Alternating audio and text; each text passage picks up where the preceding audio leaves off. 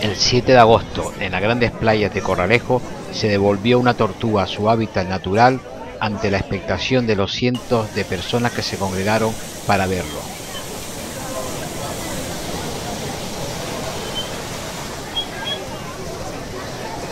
A ver, por favor, insistimos en que necesitamos que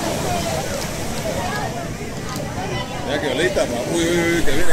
de Corralejo el pasado 6 de junio que tenía principalmente esta tortuga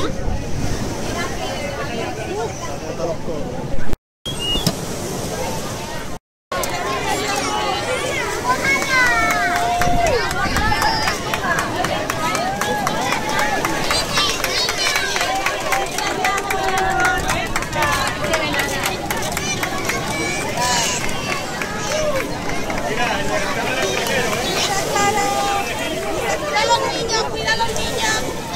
Mira que los tienes detrás.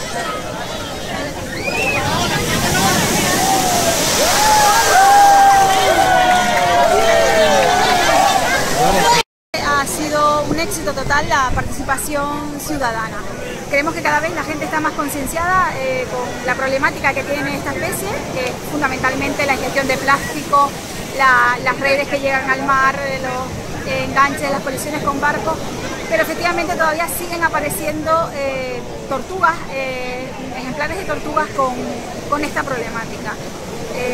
De hecho, hoy la, la que soltamos hoy, el 6 de junio, eh, fue recogida el 6 de junio por ingesta de plástico y la que soltaremos el 22 de agosto también va a ser lo mismo, o sea, por ingesta de plástico. Principalmente se recogen eh, por ese motivo. ¿Cuál es, la, cuál es la problemática y qué tiene que saber la gente eh, con respecto a los motivos que aparecen accidentes? Sí.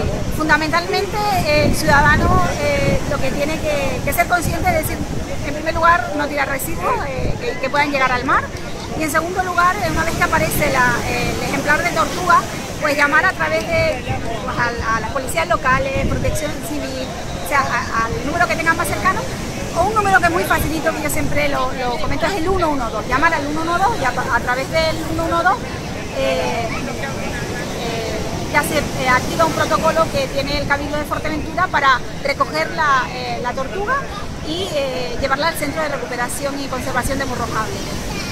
失礼します。